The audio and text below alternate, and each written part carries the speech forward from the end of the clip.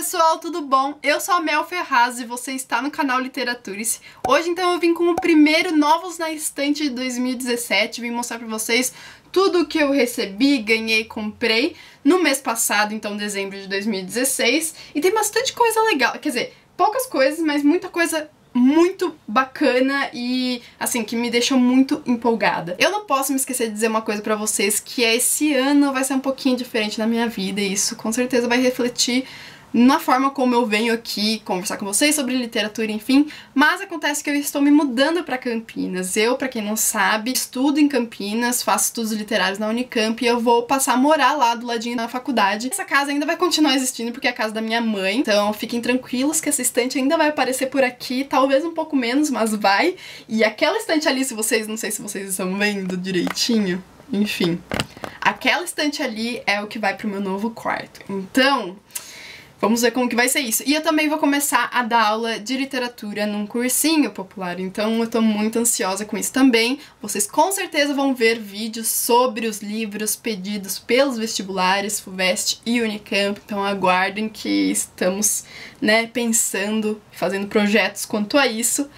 E vamos lá então. Eu vou começar a mostrar dois livros que chegaram da editora Morro Branco. Pra quem não conhece, Morro Branco é nova no mercado e eu já li um livro deles o ano passado, então vou deixar aqui em cima o cardzinho pra resenha do livro, que é a Biblioteca Invisível, muito bacana, e eles me enviaram então dois lançamentos deles, que são Nossos Dias Infinitos, da Claire Fuller, se não me engano, ela é inglesa, isso. E a capa desse livro engana um pouco, apesar de ser muito bonita, mas é um drama familiar no qual, se não me engano, o pai leva a filha pro meio da floresta e, enfim, mente pra ela. É uma coisa bem assim, parece bem punk, sabe, pesada.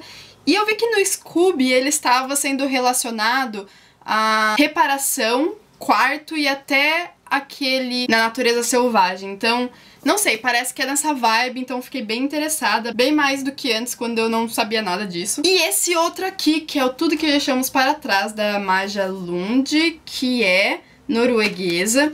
E eu gostei muito da premissa desse livro aqui. E aqui atrás ele diz que mais do que uma distopia sobre o desaparecimento das abelhas, em que passado, presente e futuro se encontram, tudo que deixamos para trás é uma poderosa história sobre o relacionamento entre pais e filhos e o sacrifício que fazemos por nossas famílias. Então parece ser também um drama familiar no qual realmente vai misturar passado, presente e futuro, porque aqui tem três datas, então 1852, 2007 e numa China futurista. Além de distopia, tem o tema então das abelhas, né, que é, hoje em dia é tão preocupante. Então eu tô bem ansiosa, os dois vieram com marcadores.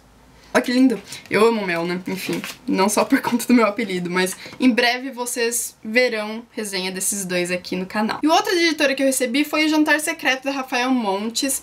Tá linda essa edição, tá bárbara, realmente. E eu não tinha percebido um detalhe muito importante dele, eu tava até pensando em sortear no Instagram esse, do canal esse livro aqui, porque eu não tenho muita vontade de ler tão já o livro, então eu gostaria de passar pra frente pra vocês. Mas, depois que eu fui ver, ele tá autografado com meu nome, gente. Olha que carinho, sério. Muito obrigada, Companhia das Letras e Rafael Montes. Mas aí eu não sei, vocês se importariam de receber o livro com meu nome no autógrafo, mas talvez seja isso seja um pouco mais especial até, né, o autógrafo dele. Não sei. Deixa aqui nos comentários se vocês gostariam de ver um sorteio desse livro lá no Instagram do blog, tá bom? Aí agora eu quero mostrar pra vocês os presentes que eu ganhei no mês passado, porque foi Natal. A Risa, aquela linda, maravilhosa do Lido Lendo, ela me enviou esse livro aqui, Arte de Ler, do Emily Faguet, que eu já comecei a ler, já usei num vídeo aqui, vou deixar aqui em cima pra vocês, que foi a nossa discussão aí sobre ler rápido, enfim. Tô amando esse livro, então Isa, muito obrigada, realmente. Ela me deu um outro, um outro presente, foi um colarzinho, mas eu já tô usando, então tá lá guardadinho. Mas Isa, muito obrigada mesmo. Eu amei o presente. Aí no Amigo Secreto aqui de Jundiaí eu ganhei esse daqui do Kazu Ishiguro, acho que é assim que pronuncia, não sei, me corrijam se eu estiver errada, que é Os Vestígios do Dia. Linda essa edição também. Adoro quando o corte é de outra cor, assim como o do Rafael Montes. E eu nunca li nada desse autor, mas eu sempre tive muita vontade, desde aquele outro azulzinho lá, então Tô bem ansiosa pra ler esse livro. E quem me deu adora esse autor, que foi a Carlinha. Então, obrigada, Carlinha, pelo presente. Eu amei. E outra linda maravilhosa que tem por nome Isabela é a Isa do Livrisa. E ela me deu três livros, gente. Como segurar essa garota? Me contem, né? Por favor, vão lá no canal dela, que eu vou deixar aqui em cima e lá embaixo, e falam, para de dar livro pra Mel. Brincadeira, não falam não. Continua isso. Mas enfim, ela me deu esse livro aqui que eu vi o ano inteiro, assim, ela lendo o ano passado inteiro. Brincadeira. Ela passou bastante tempo com ele na mão e tá todo anotado dela. Que é o Além do Bem e do Mal, do Nietzsche. Então eu tô bem ansiosa pra ler. A primeira vez que eu abri já foi uma citação, assim, bárbara, que me leu por inteira, então... Isa, muito obrigada. Quer, quer dizer, muito obrigada por todos esses, mas ela me deu outro do Zola. Eu amo Zola só porque eu li o Germinal, tem até vídeo resenha, eu vou deixar aqui em cima no card pra vocês darem uma olhada. E ela me deu esse daqui, Therese Hakan. Nunca vi ninguém falando desse livro aqui em específico, então por isso eu estou mais curiosa ainda pra ler esse daqui. E por fim, o Damian, acho que é assim que se pronuncia, do Has. Vai ter uma aula sobre ele, então provavelmente eu vou na minha faculdade. Então, Isa, muito obrigada pelos presentes. Aí o Túlio Henrique me enviou presentes pelo correio também, pela caixa postal do blog, que pra quem não sabe tá aparecendo agora na tela pra você. Enfim, se você quiser me enviar sua cartinha, tá aí. E ele me enviou Cidadania no Brasil, do José Murilo de Carvalho, tá aqui. E me enviou mais duas coisas muito chuchus, que são esse colar aqui, muito bonito. Eu adoro corujinhas. E esse livrinho aqui fofíssimo, que tem o Pequeno Príncipe na capa. Muito obrigada, Túlio, mesmo. E tá aqui, né, eu mostrando, então não se desespere, estou mostrando. Muito obrigada mesmo. Outro presente que me deixou assim de queixo caído e que na verdade eu já conheço a pessoa há um tempo, já acompanho o trabalho dessa pessoa há um tempo, que é o Felipe. E ele...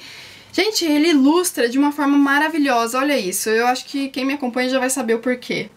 Virginia Woolf, sim, ele que desenhou isso. E ele me enviou então essa cartinha que também tem desenhos dele próprio. Eu adorei, sério, cuidado, sua letra é maravilhosa também. Ele é estudante de estudos literários na pós, então se não me engano ele faz doutorado. E, sério, você é muito bom. Você não pode ficar tímido enfim, esconder os seus desenhos, o seu talento, porque você é maravilhoso, realmente. E ele me enviou outras coisas, né, outros marcadores com os trabalhos dele. Eu vou deixar para quem quiser conhecer o trabalho dele lá embaixo onde encontrá-lo. Então tá lá o Instagram, enfim, tá tudo lá. Muito obrigada, Felipe. Eu adorei mesmo mesmo e essa ilustração da Virginia Woolf vai para minha estante com certeza, para minha estante nova. Então, muito obrigada. E aí, a Saraiva me enviou isso que eu nem tava esperando, gente, mas me enviou o oitavo livro do Harry Potter. Eu nem ia comprar por já porque eu queria reler, na verdade, a série. Então eles me enviaram, além dessa eco bag, muitos marcadores da série. Muitos, ah, inclusive de animais fantásticos e onde habitam. E, né, o próprio livro, que, gente, é soft touch, não sabia. Adorei, muito obrigada, Saraiva, muito obrigada pelo carinho de sempre me enviarem coisas. Eu amei esse presente. E por fim, mas não menos importante, eu fui no Sebo e comprei dois livros nacionais, o Canaã, do Graça Aranha, e Um Rio e Mito Reno, do Viana, acho que é Mog que se pronuncia, não sei se é assim. Vou ter é, aula sobre os dois, então tenho que ler por já, não é mesmo? Vocês já leram ele? Gostaram? Eu sei que minha amiga Nath não gosta desse daqui, então vamos ver o que, que eu vou achar, não é mesmo? Então é isso, gente. Eu espero que vocês tenham gostado do vídeo de hoje. Se vocês gostaram, não se esqueça do seu joinha, que vai me ajudar bastante na divulgação e também de se inscrever no canal se ainda não for inscrito. Um grande beijo e até o próximo vídeo. Tchau, tchau!